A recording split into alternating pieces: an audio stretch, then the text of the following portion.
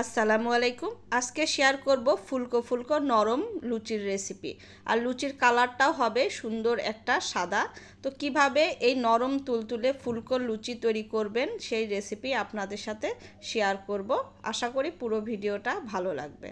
তো প্রথমে আমি ওয়ান থার্ড কাপ কুসুম গরম পানি নিয়েছি। একেবারে হালকা কুসুম গরম পানি হতে হবে, যেন আঙ্গুলটা মিনিট খানেক রাখতে পারেন। আপনার কোনো অসুবিধা না হয়, এরকম টাইপের গরম পানি নিতে হবে। এর মধ্যে দিয়ে দিব এক টেবিল চামচ সয়াবিন তেল, আর সঙ্গে দিয়ে দিব হাফ চা চামচ চিনি। যারা চিনিটা খেতে চান না, তারা স্কিপ করতে পারেন, তবে চিনি একটু দিলে স্বাদ লাগে খেতে। দিয়ে দিব স্বাদ মতো লবণ, দিয়ে সব উপকরণ একসঙ্গে আমি মিলিয়ে নিব। এরপরে দিয়ে দিব এক কাপ ময়দা। আমি আজকে যে উপকরণটা দিয়েছি, এটা এক কাপ ময়দার জন্য পারফেক্ট। আপনারা এখানে ময়দা বা আটা যে কোনো একটি দিতে পারেন। তবে লুচির ক্ষেত্রে ময়দাটা দিলে লুচিটা খেতে বেশি ভালো লাগে। সব উপকরণের সঙ্গে এটা আমি খুব ভালো করে মিশিয়ে নেব। আপনারা যদি বেশি পরিমাণে বানাতে চান, তাহলে উপকরণগুলো একটু বাড়িয়ে নেবেন, বাস এতেই হয়ে যাবে। তো কিছুক্ষণ পর ময়দাটা এরকম অবস্থায় আসবে। এটা পাঁচ থেকে ছয় মিনিট এভাবে মথে নিতে হবে। তাহলে দেখবেন একটা পারফেক্ট সফট ডো তৈরি হয়ে যাবে। ডোটা একেবারে নরমও হবে না, শক্তও হবে না। যেই উপকরণগুলো, যে পরিমাপটা আমি আজকে দিয়েছি, সবগুলো এভাবে পারফেক্টলি দিলে এরকম সুন্দর একটা ডো তৈরি হয়ে যাবে। ডোটা এরকম হবে, দেখুন। এখন এটা আমি একটু সামান্য তেল উপরে দিয়ে রেখে দিব। প্রায় বিশ থেকে পঁচিশ মিনিট রেখে দিলেই কিন্তু খুব সুন্দর একটা সফট ডো তৈরি হয়ে যাবে। তাই এটা আমি এখন রেখে দিচ্ছি।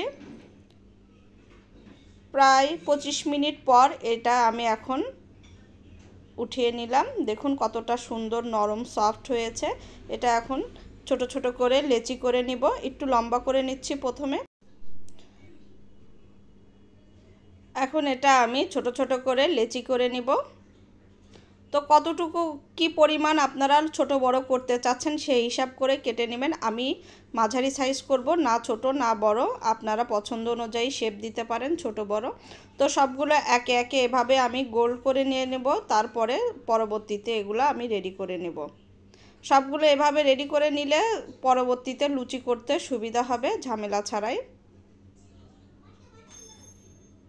একে একে সবগুলো করা হয়ে গেছে। এখন এটা আমি সবগুলো এক সাইডে রেখে দিব, বাটির মধ্যে রেখে দিয়ে এটা আমি ঢেকে রাখব যেন ড্রাই না হয়ে যায়। এখন হাতে একটু তেল নিয়ে নিচ্ছি, নিয়ে এটা আমি হাত দিয়ে ভালোভাবে প্রথমে প্রেস করে নেব, তারপরে এটা আমি রুটি করে নেব। কারণ তেল দিয়ে করলে যখন আমরা লুচিগুলা ভাজবো, তখন কিন্তু তেলগুলা নষ্ট হবে না কো তেলগুলা ভালো থাকবে। আর আটা দিয়ে যখনই করবেন, তখন কিন্তু ওই তেলগুলা নষ্ট হয়ে যায় আটা অতিরিক্তর জন্য।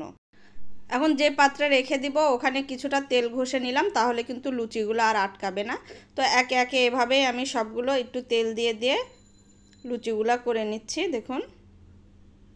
এটা না মোটা হবে, না পাতলা হবে, রুটির থেকে একটু মোটা হবে। এভাবে সবগুলো একে একে করে রেডি করে নেব।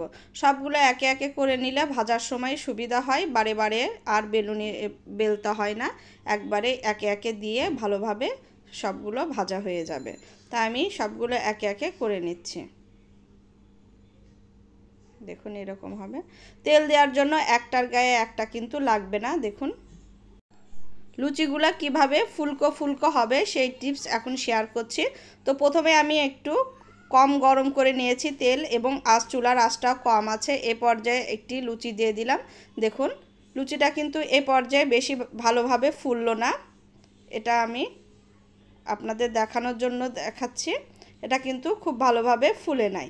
আর যখনই তেলটা খুব ভালোভাবে গরম করে নেবেন এবং চুলার আঁচটা মাঝারি থাকবে, তখন কিন্তু লুচিগুলা এমনি এমনি এভাবে ফুলে উঠবে, একেবারে যাকে বলে ফুলকো ফুলকো লুচি হবে।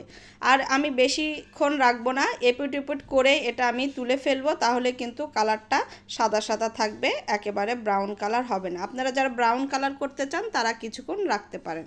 তো এভাবে লুচিগুলা ভাজলে চু, একেবারে ফুলকো ফুলকো হবে। চুলার আঁচটা কিন্তু খুবই ইম্পর্টেন্স মাঝারি আছে রেখে এভাবেই ভাজতে হবে। রেসিপিটা ভালো লাগলে লাইক কমেন্ট শেয়ার করবেন। আর যারা ইউটিউবে দেখছেন, তারা আমার চ্যানেলটি সাবস্ক্রাইব করবেন। দেখুন কতটা ফুলকো হয়েছে। সবগুলো লুচি।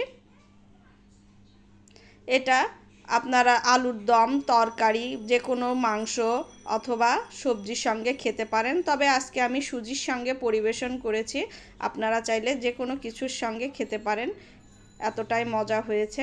তো সবাই ভালো থাকবেন। আল্লাহ হাফেজ।